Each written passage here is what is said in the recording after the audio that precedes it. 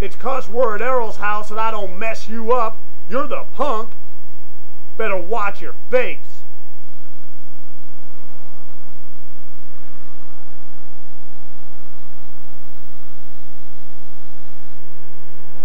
Later that night when we talked, I thought Danielle would be impressed that I got Eric to cool down and not fight Danny.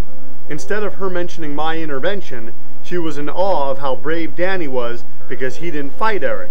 She told me that Eric had way too much backup and that because of that there was no way Danny would fight him. She also told me that they were going out now.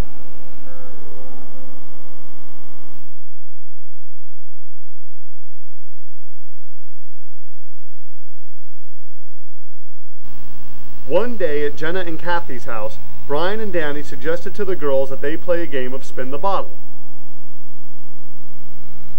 Personally, I wouldn't have minded playing, but the fact that Jenna was going out with Brian and Danny was going out with Danielle just seemed to me like it could cause problems.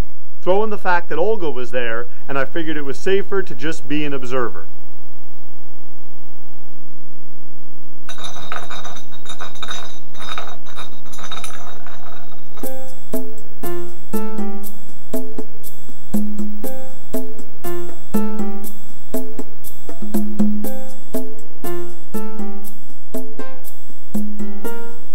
Was it, Kathy? It was all right.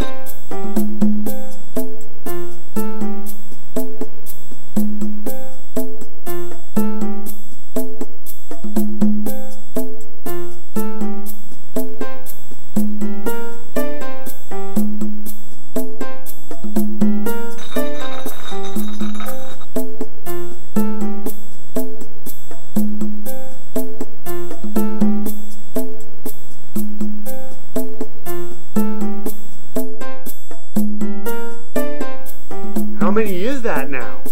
Too many.